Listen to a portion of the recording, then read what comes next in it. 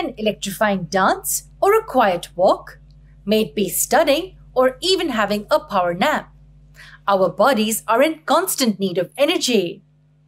Every living body is constantly working internally. Our human body as well is extremely dynamic. And for this, where do we derive the necessary energy from? We've usually come across the saying that we obtain energy from the food we eat. But that is just partially correct. In fact, the food we eat is just a source of energy. The energy is derived mainly by the processes like the cellular respiration, which follows digestion. These two processes help in deriving the necessary energy that is stored in the food we eat. In simple words, the food we eat contains energy stored in the molecules in the form of bonds. These bonds are broken and the released energy is converted into usable form. Also, the food we eat helps in providing the molecules necessary to build up our body tissues and for their efficient functioning. So, how do all these processes work? What happens to the food after we eat it? Where is it carried away? And where does it exactly get digested? How does the digestion process occur exactly? Let's find answers to all these questions in this and in the upcoming videos. To reach the answers, we have to travel the path of the complete digestive system. But that's a very long one. So for our convenience, we divide the system into different parts. The two major components of the digestive system that we will be studying include the long pipe called the alimentary canal and the digestive glands.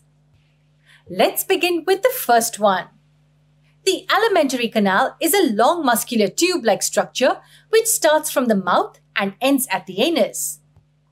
The diameter of this tube varies from one part to the other. And what do we mean by this? Can you tell me if the mouth, stomach, and the intestines are continuous or they are different parts that are just placed one after the other? Well, the mouth, the esophagus, stomach, small intestine, large intestine, and the anus are all in continuation. It's actually a single pipe that has varying diameter at different locations. And this difference in the diameter gives us these different organs. So we can say that the alimentary canal is a long muscular tube that has various parts like the mouth, esophagus, stomach, small and large intestines, and the anus.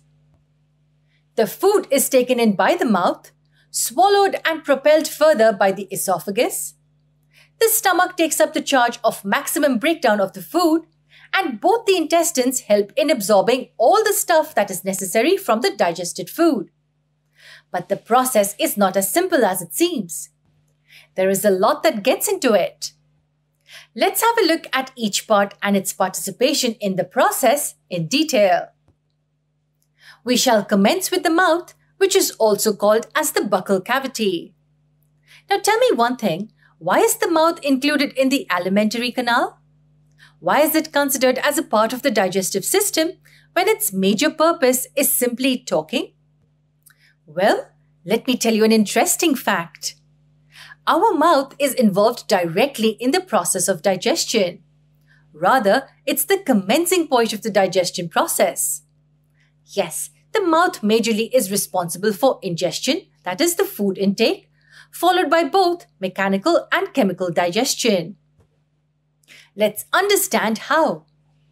There are three major structures in our mouth that aid in digestion. They are the tongue, teeth, and the salivary glands. All of these carry out efficient breakdown and mixing of the food. Among these, we will have a look at the salivary glands in detail when we have a look at the digestive glands. So we will learn about the teeth and the tongue first. Let's meet in the next video with details on these topics.